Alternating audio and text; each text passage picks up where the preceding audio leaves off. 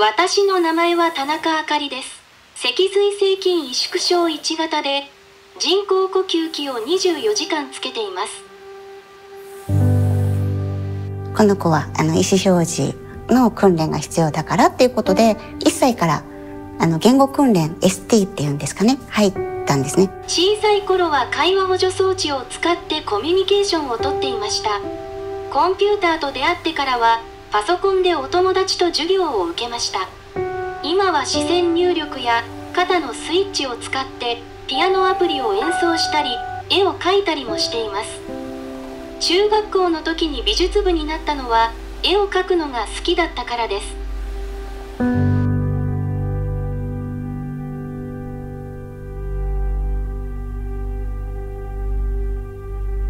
プロジェクトボイスは LLM 大規模言語モデルとか言われますけれども、えーまあ、そうした、まあ、生成 AI の技術が出てきましてテクノロジーとしては非常にシンプルなものを使っていましてサーバーの方で、えー、とジェミニの API を使っております発話したい側えー文章を生成したい側のコミュニケーション支援ツールとして始まったプロジェクトになります。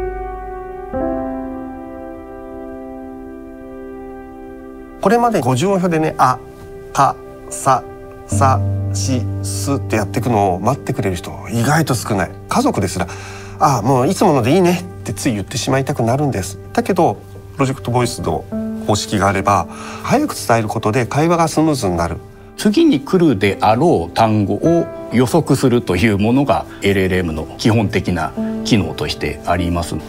私は野球観戦が好きで阪神タイガースの大ファンです。小さい頃テレビをよく見ていてかっこいいなと思ってたのがきっかけです。甲子園球場に月に1回くらい見に行っていました。目の前で優勝するところを見れてとっても嬉しかったです。阪神ファンっていうのが一番にあるからか何にも隔たりなくというか今日勝つといいなみたいな感じで話してますし選手の名前は連呼しますし何やってんねんみたいなことも言ってました。そう見ててたくさん出てくるので関西弁が。喋れないとね考えてないって思われてるケースすごい多いです。だけどここにいる人と自分とは同じ人であってこうやって意見を交わしながら生きてるんだっていうことを認識させてくれるツールになるなというのが一つ目のいいところだと思いました。プロジェクトボイスのもう一点面白いところはあのユーザーの利用者のプロファイルを入れることができまして阪神ファンって入れておけば阪神に関する提案がより多く出てくるようになるので、まあ、そういったカスタマイズができるのも、まあ、人工知能を使った、えー提案システムの面白いところかなと思います。甲子園に行って阪神ファンの人と一緒に応援するのは本当に楽しいです大好きな近本選手に会ったら聞いてみたいことがありますこんにちは。こんにちは。泣けてくる すごいですね。はじめまして滋賀県に住んでいる27歳の田中あかりです兵庫県に住んでる近本です。藤川さんとどんな話をしてますか？そうや僕もやりたいことがあったから、それだったらこういう風にやっていこうってすり合わせを。盗塁するときはどんなことを考えていますか？